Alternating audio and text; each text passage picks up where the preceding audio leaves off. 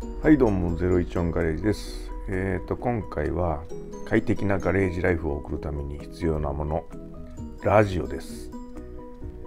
えーなんでラジオか別に CD とかですね音楽流してガレージで作業するのもいいんですけどラジオって結構情報が多くて例えば天気とか交通情報とかですねあと災害とかですねそういうのを知るにはラジオが私は一番いいです。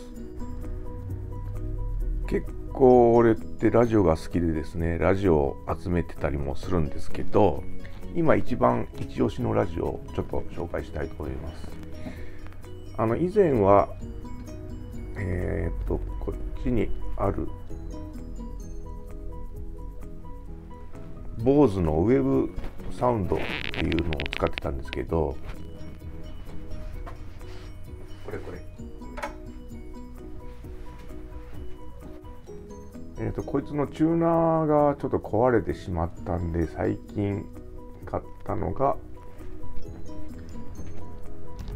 こちらの山水の昭和ラジオってやつなんですけどちょっと寄ります。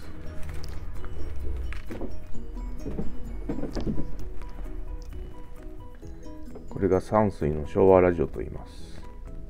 これの面白いとこはところはですね、まあ、当然ラジオは聴けるのは当たり前なんですがあの音源がいくつか入ってます。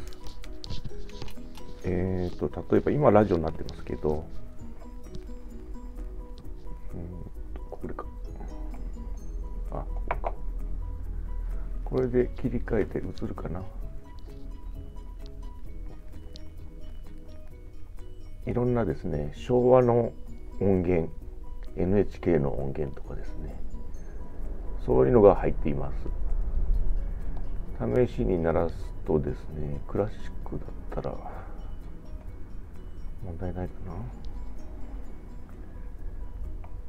えー、っとこの辺クラシック例えば鳴らしますけどよいしょ。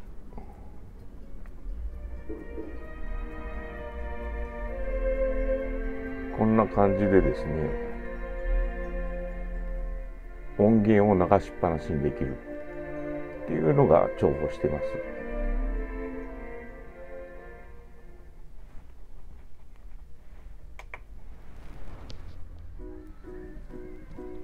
それからついでにちょっと手持ちのトランジスターラジオも紹介しますね。あのこれはよくツーリングツーリングっていうかバイクで出かける時とかポケットに入れてどこでもラジオがラジオが聴けるようにって持ち歩いてます。一番お気に入りがこれです。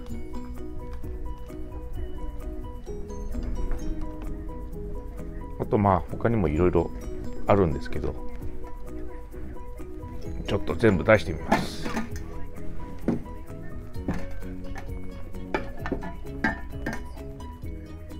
はい。こんな感じでトランジスタラジオ。まあ面白いラジオもあるんだけど一これがまあ一番お気に入りで次これですかね。これも FM が入るんでいいですね。海とかでよく使ってます。はいそんな感じです。